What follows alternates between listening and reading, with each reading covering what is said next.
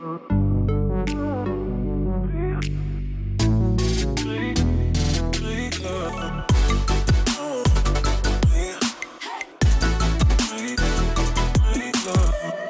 I'm Sean, working for SDM as a steel erector.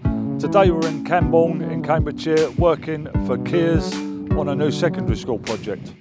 Six buildings, we've completed building one and we're currently working on building two and next week we should be starting building number three.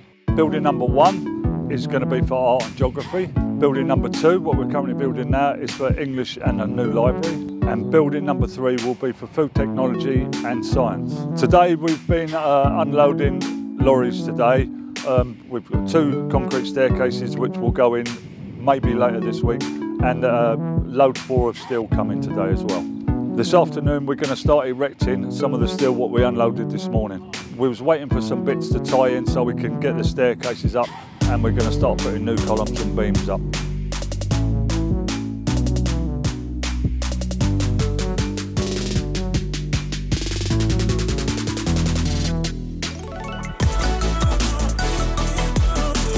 Part of our package for SDM is also to put all the J-Safe edge protection on all the buildings and we're also landing all the decking. As always, it's a pleasure to be working for Kier and I hope you come back and see us soon.